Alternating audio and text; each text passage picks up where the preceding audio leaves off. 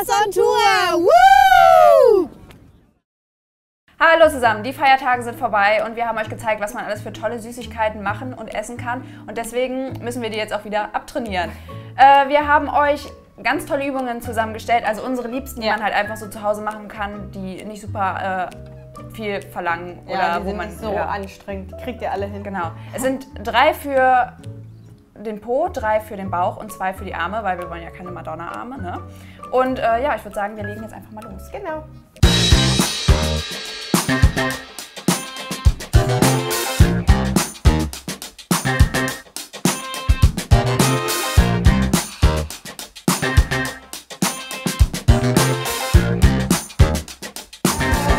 Wir fangen mit der ersten Übung an. Das ist eine Bauchübung. Also wir haben uns überlegt, wir fangen Bauch, Beine, Po und Arme. Das ist die Reihenfolge. Und wir fangen mit der ersten Bauchübung an. Also dafür legt euch einfach auf den Rücken. Äh, darauf achten, dass ihr kein Hohlkreuz habt. Ich zum Beispiel neige zu einem Hohlkreuz. Und äh, macht dann die Beine hoch in so einem 90-Grad-Winkel. Ich hoffe, das sind jetzt gerade 90 Grad. Und dann geht ihr ganz langsam runter. Und dann geht ihr langsam wieder hoch und wechselt das so ab und tippt unten so an. Das geht dann hier unten auf die unteren Bauchmuskeln. Ihr müsst auch darauf achten, dass ihr die anstrengt. Aber die sind eigentlich automatisch angestrengt.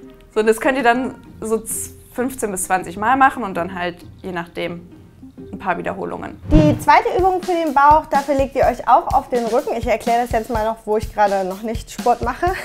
Und dann ähm, benutzt ihr einfach eure Beine und ähm, schlagt die immer so über Kreuz wie so eine Schere. Und da müsst ihr auch gut darauf achten, dass ihr auch kein Hohlkreuz macht, weil sonst geht es ganz schön auf den Rücken. Wir machen das jetzt einfach mal, Madeleine. Also hinlegen. Und dann die Hände am besten unter dem Po, das ist immer ganz gut, so äh, vermeidet ihr dieses Hohlkreuz. Und dann einfach die Beine ausstrecken und immer überkreuzen. Und das auch so ungefähr 15 bis 20 Mal, je nachdem wie ihr es schafft. Und man merkt schon, dass das dann ganz schön auf die Bauchmuskeln geht. So, bei der dritten Bauchmuskelübung beugt ihr euch so, also ihr winkelt die Beine an und dann beugt ihr euch so ein bisschen nach hinten. Nicht zu viel und nicht zu wenig, das ist fast schon, ja genau. Und macht den Rücken möglichst gerade. Dann gebt ihr die Arme nach vorne und dann beugt ihr euch jeweils nach hinten und macht den Arm so zurück. Und das dann immer so hin und her.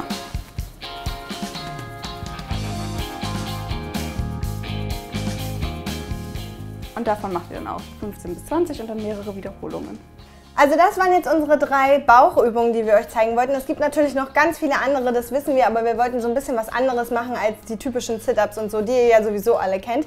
Und wir versuchen immer so 15 bis 20 Mal diese Übungen zu machen und dann immer so zwei bis drei Wiederholungen, je nachdem wie ihr könnt.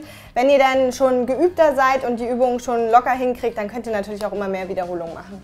Die erste Übung für die Beine sind Ausfallschritte, kennt ihr alle altbewährt, aber es ist auf jeden Fall eine super effektive Übung. Das geht auf die Oberschenkel, das werdet ihr in den Waden merken und auch im Po. Und es gibt verschiedene Varianten, wie man die machen kann. Ich mache es immer so, dass ich mit einem Bein nach vorne gehe, zweimal leicht wippe, dann wieder zurückgehe in die Ausgangsposition und dann mit dem anderen Bein das mache. Und das könnt ihr auch 15 bis 20 Mal für jedes Bein wiederholen und so oft, wie ihr wollt, diesen, diese einzelnen Wiederholungen halt machen. Ähm, und genau, ich würde sagen, wir legen los. Wenn ihr in eurem Ausfallschritt seid, dann achtet auf jeden Fall darauf, dass das Knie nicht über der Spitze des Fußes ist. Seid schön gerade, macht keinen komischen krummen Rücken, macht aber auch kein totales Hohlkreuz. Also versucht euch möglichst schön gerade zu halten und dann eben zweimal wippen, zurück und das andere Bein. Schön synchron. Wenn ihr es euch noch ein bisschen schwieriger machen wollt, dann könnt ihr einfach Wasserflaschen nehmen für extra Gewichte oder einfach Hanteln, falls ihr die auch schon zu Hause habt. Und da könnt ihr entweder das so machen, dass ihr die Wasserflaschen einfach neben euch nehmt, wenn ihr die Ausfallschritte macht, oder aber auch, was du ab und zu mal machst, einfach so, so ein bisschen stemmen nebenbei, oder? Wie Ja, das sieht noch viel hardcore-mäßiger Genau, aus. also einfach so. Oder eben ganz locker einfach neben sich. Bei der nächsten Übung für den Po gibt es verschiedene Varianten. Also als erstes gehen wir mal hier in die Position. Ihr könnt dann entweder so bleiben, ich gehe aber lieber runter auf die Ellenbogen oder Unterarme oder wo man da so drauf geht. Und äh, dann nehmt ihr euer Bein und könnt es entweder so im rechten Winkel hoch machen oder ganz hoch und geht dann wieder runter. Ich gehe aber lieber ganz hoch, weil das dann richtig schön in den Po geht. Dabei den Fuß immer so ein bisschen strecken und dann einfach ganz hoch. Die letzte Übung für die Beine und für den Po und dann haben wir diese Kategorie schon geschafft. Ähm, wir machen Squats und zwar stellt ihr euch da einfach so schulterbreit auf und dann Squats kennt ihr ja sicherlich auch. Eben die Arme mache ich immer so zur Faust nach vorne und dann schön nach unten, dass die Beine möglichst im 90 Grad Winkel sind. Schön den Hintern rausstrecken, aber eben versuchen trotzdem von der Haltung her schön gerade zu bleiben. Kein Hohlkreuz machen, kein Buckel machen. Und Knie wieder nicht über die Zehenspitzen. Genau. Und dann versuche ich immer davon so 10 bis 15 Stück zu machen. Und bei dem letzten versuche ich dann immer ungefähr 5 Sekunden zu halten. Also wir machen jetzt mal noch zwei. Eins, zwei und beim dritten eins, zwei, drei, vier, fünf und hoch.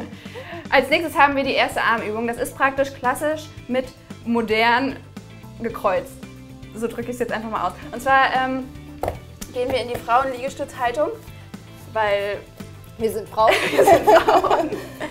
Äh, ruhig nicht ganz so eng die Arme, weil okay. wir wollen ja lieber eigentlich die Brust machen. Ich habe gehört, wenn man auseinander geht, dann ist das eher für die Brust. Ja. So, und äh, dann geht ihr runter, also ihr geht runter und dann geht ihr hoch und dann könnt ihr entweder den Arm hoch machen und runter und dann halt immer wieder runter und den Arm hoch.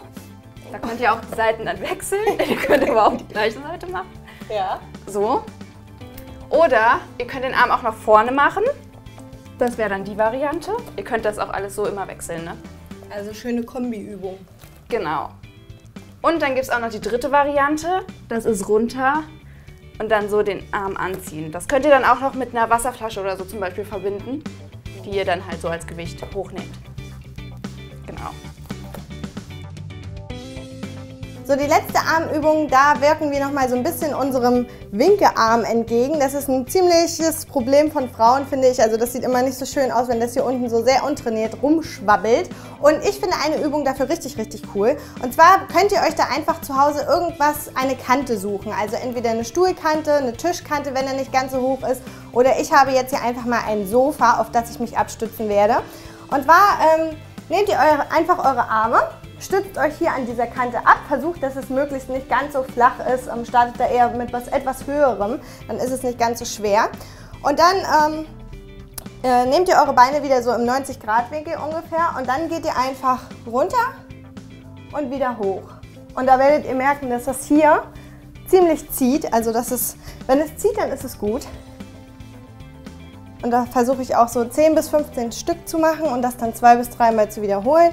Und das ist wie gesagt eine sehr effektive Armübung. Wenn ihr die ganzen Übungen dann zusammenrechnet, sind das auch nur so 10, 15 Minuten, die man morgens oder abends eigentlich immer frei hat. Ihr dürft jetzt natürlich nicht irgendwie, wenn ihr das dreimal die Woche macht, nach zwei Tagen den Mörder-Buddy erwarten. Aber irgendwann seht ihr auf jeden Fall einen Fortschritt und dafür lohnt es sich auf jeden Fall. Genau, wir versuchen auch dran zu bleiben und die Übungen schön regelmäßig und kontinuierlich zu machen und dann wird das auch. Wir haben ja auch gute Vorsätze für 2015, die haben wir euch hier übrigens auch nochmal verlinkt, da gibt es ein Video zu und dann verlinken wir euch auch nochmal die Morgenroutine aus Paris und wir würden sagen, bis zum nächsten Mal und macht's gut. Auf Wiedersehen. Tschüss.